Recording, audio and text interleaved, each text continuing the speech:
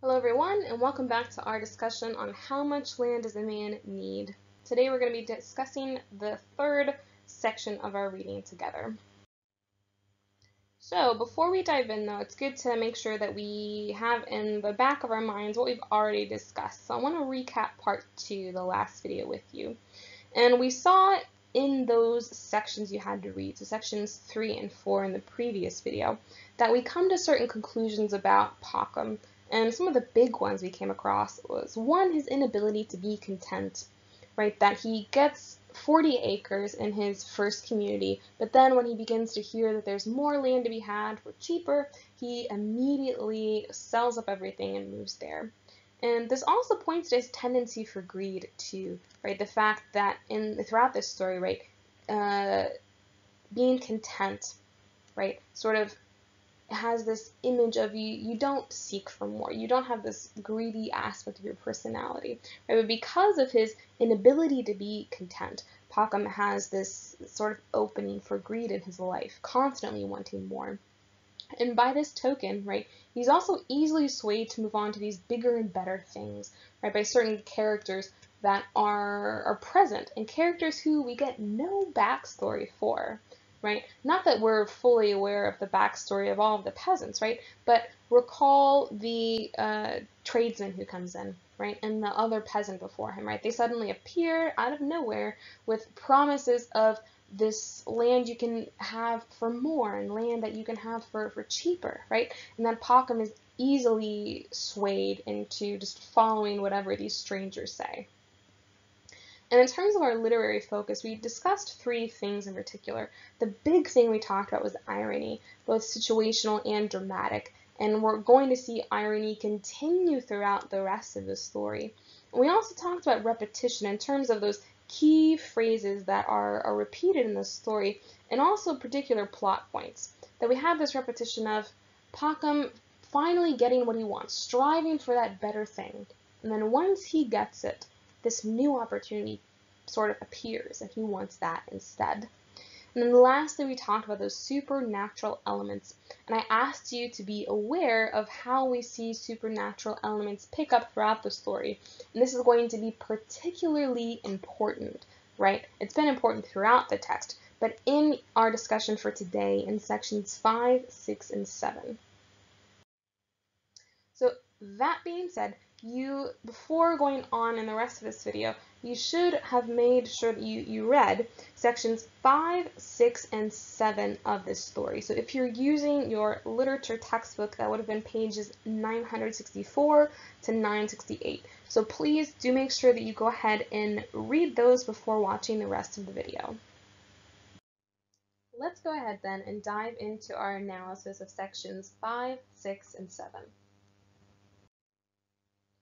So in your reading of section 5, again, we're looking always first to comprehension because that's how we know whether or not we've grasped the sort of the, the plot, right, that's going on because if we have no idea what actually happened in terms of plot, our analysis of the text is going to be one, really weak because we don't understand, and, and two, sort of a fruitless effort. So again, looking first at this setting, we see that we're still in Russia, right? The entirety of the short story is going to take place there. But now we finally reach the land of the Bashkirs, right? This mysterious place that the dealer had told us about in section 4. And we're also introduced to a few new characters. So Pakhom, although he's not new, right, we, we need to keep tabs on what he's doing as the central character and we see that he heads to meet with the Bashkirs, and he takes a servant with him. And speaking of this servant, right, true to form in terms of how um, people in sort of higher positions are usually deemed to treat those beneath him, them, the servant is quiet, so it doesn't say anything, right, in the sections that we read, and is not even addressed really by Pakhom himself, so treated as this secondary and almost invisible character. And then finally we have the Bashkirs. So interestingly, right, we have no direct commentary from the narrator about how they view the Bashkirs and their lifestyle. And this is going to be interesting because that leaves more room for us than the audience to sort of give our own commentary about the lifestyle that they lead, which we're going to do in a moment.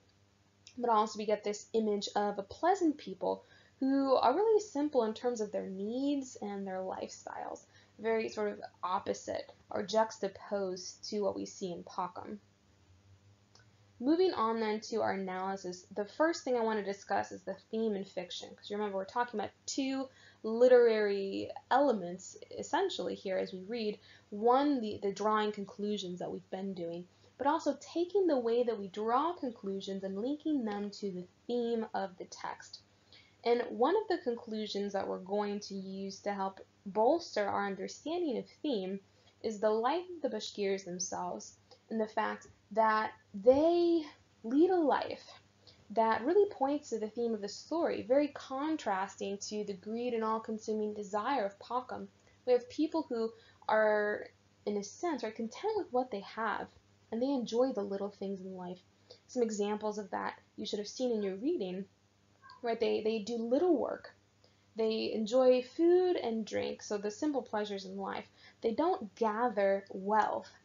And and far from from that, right? They're even generous with others, giving away their wealth.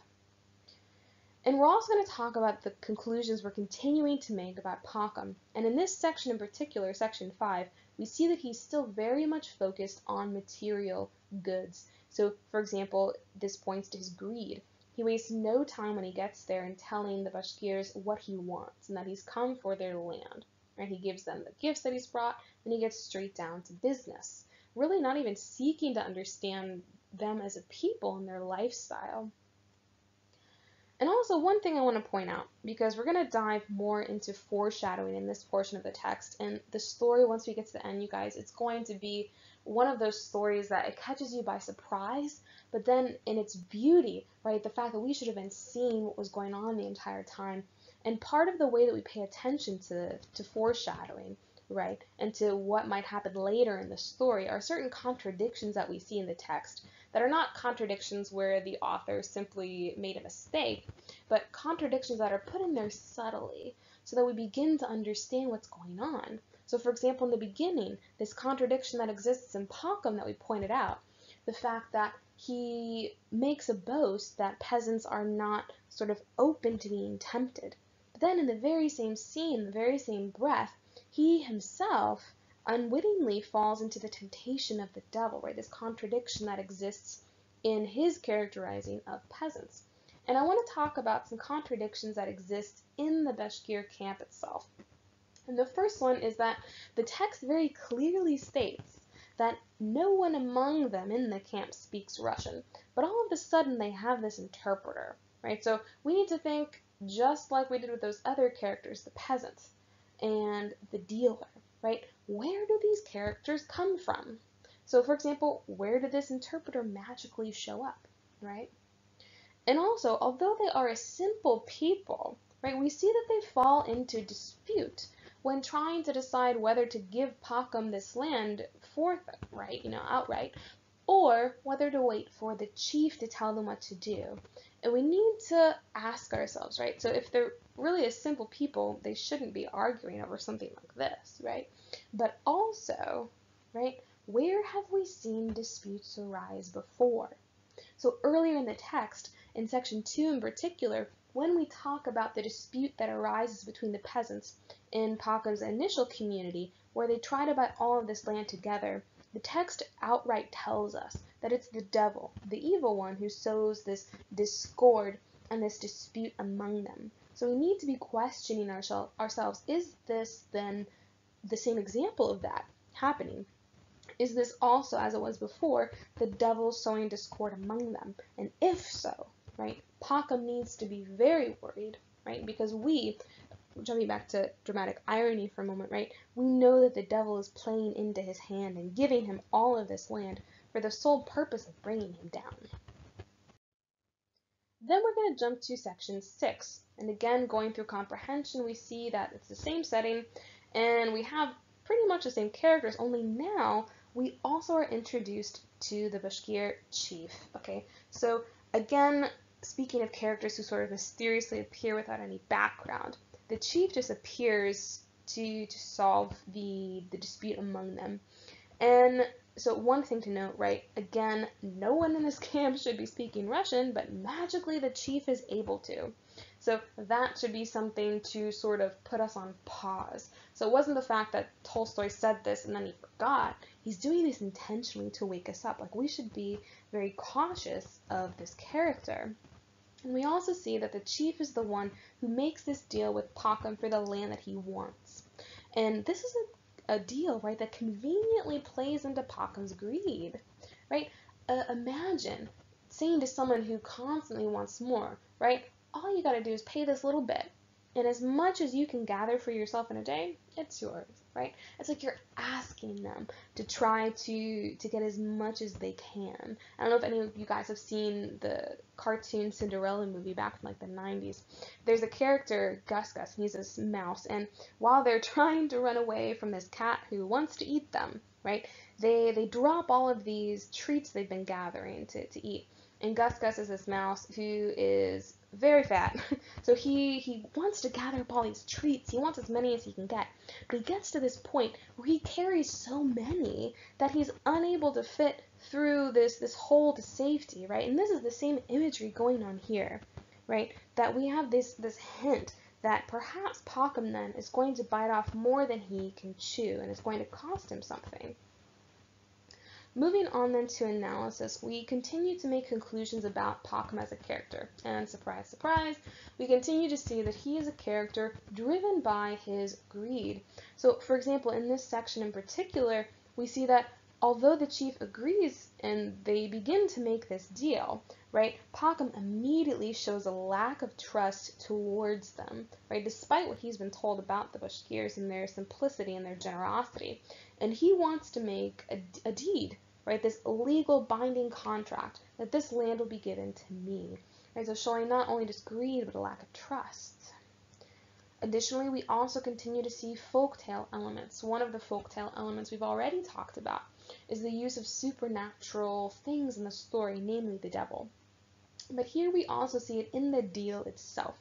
So we, we constantly see the use of the deal, right, in folktale stories. And the deal is this, right? Although it looks different in each story, our central character is forced to face a certain condition or a certain requirement that they have to fulfill in order to get what they want, right?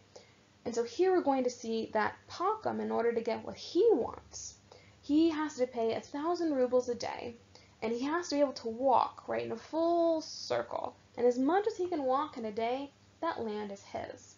And so again, just a point to be out, you guys, this thousand rubles is extremely cheap, right? Part of what draws Pakhom in in the first place when he realizes he can get all of this for relatively little.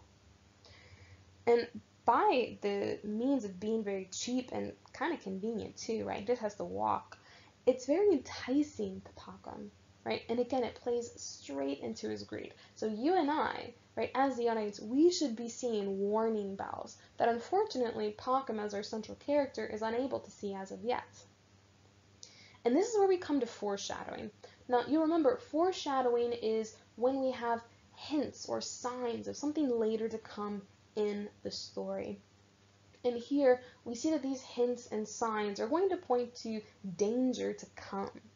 Right? So as the story unfolds, we need to pay attention to what possible elements in the story could in fact be foreshadowing. So we've already seen that in this in this story so far, right? The use of the dispute that always sort of happens, right, in the midst of Pakhom being able to get what he wants, and how we've already been warned that that first dispute was inspired by the devil himself.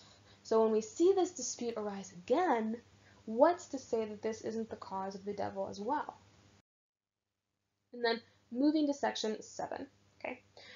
We see in terms of the setting that we're still in the same setting, but now we're in the evening, right? The day before the challenge is to take place.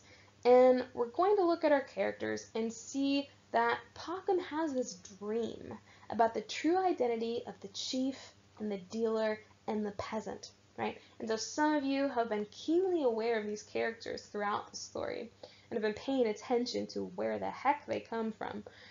This is warning bells for you, right? That these characters, as they turn out to be in the end of Pakhom's dream, are all the devil himself, right? But Pakhom, right, true to his character, unfortunately, completely ignores the signs, right? So as the reader, right, at this point we're getting frustrated with Pakhom. And we're getting frustrated in large part because of the fact that the devil makes his appearance in the dream. And this should cause us to question, as it should cause Pakhom to question, has he truly been the one, right, playing these mysterious characters throughout the story itself? Turning then to analysis, jumping to foreshadowing. One of the things that we need to always do, especially in short stories, because they're able to make very, very good use of irony in particular, but also foreshadowing by means of its length, is the fact that certain things get repeated in the story, and they get repeated to draw our attention. And so here, you'll recall back in section 6 in your reading that in the midst of making this deal with Pakhom, the chief laughs. And there's really no rhyme or reason for why he does this. The narrator doesn't explain why he laughs, and really the, the context of the story doesn't seem to make it fit. So it should have stood out as something odd to you, and for good reason, right? Because in Pakhom's dream, this image of the laughing chief reappears right? And laughing because ultimately we, we see in the dream the true identity is not the chief, but rather the devil himself. And this again draws us back to understanding the mysterious identity of our peasant, our dealer, and our chief, right? The fact that they all just appear out of nowhere throughout the story, without rhyme or reason, without really Pakhom himself questioning where on earth they came from. And the fact that the dream reveals that all of these people are the devil in disguise should be fair warning to to, to ourselves that the deal he's about to follow through with, right, perhaps should be something he should be wary of instead, right? And wary particularly because his dream ends more like a nightmare, right? He sees this man lying flat on the ground. Your text says prostrate, right? Meaning that he's lying face in the dirt. And the only thing he has on now are his shirt and his pants or his trousers. And on closer inspection, we realize, and Pakhom realizes, that this man is indeed himself. Right? So what more of a warning does Pakhom need that he needs to be careful in terms of his greed? Right? That your greed is going to get you somewhere that you do not want to be. It's going to harm you physically. But unfortunately, just as we've always seen before, Pakhom doesn't listen. And then finally, going to section 7, in terms of our analysis, we draw more conclusions about Pakhom. And the first one that we draw is not just that he's greedy, but it, that his greed gets the best of him. And we see that in the fact that he goes to bed that evening, just even lulling himself to sleep with the thought of what he's going to do with all that land. But he doesn't even have it yet, right? He hasn't even completed the challenge and he's already planning what to do with it. So not just greed, but sort of this arrogance that everything is going to work out for him. And additionally, speaking to his greed, he states in his thoughts that he's going to give the best land to himself, right? A majority of the land, by the way, and the worst of it, even at a, a cost, to peasants.